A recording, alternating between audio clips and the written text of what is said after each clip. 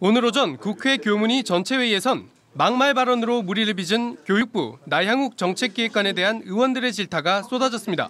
법 2조 대한민국의 주권은 국민에게 있고 모든 권력은 국민으로부터 나온다. 국민이 개돼지가 될 수 없는 것입니다. 이건 개인적인 일탈이나 사적 행, 행동이 아니잖아요. 이거는 공직사회의 기강회의고요. 이건 분명히 이거는 국민 깔보는 이 저 부처의 분위기가 있는 겁니다. 거- 국회 출석 문제를 놓고 파행을 빚게 만들었던 나 정책기획관은 뒤늦게 출석해 사회적 무리를 일으킨 것에 대해 국민에게 사과한다는 뜻을 밝혔습니다.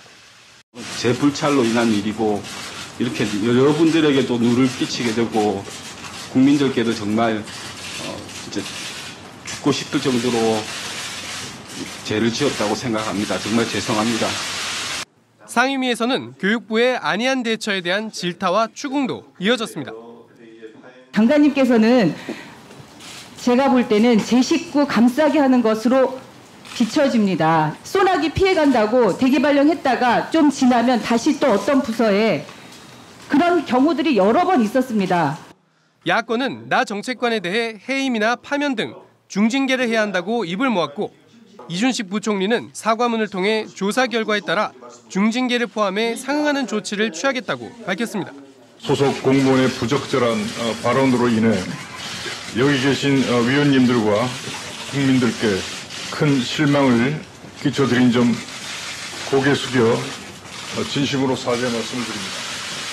이 밖에도 최근 전 교총회장 출신인 안양옥 한국장학재단 이사장이 학생들이 빚이 있어야 파이팅도 생긴다는 취지의 발언으로 무리를 빚는 등 교육계 인사들의 막말 파동이 잇따르고 있습니다.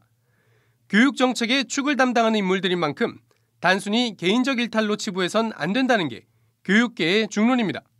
어떤 실수가 아니고 정말 그분들이 진심이라고 생각합니다.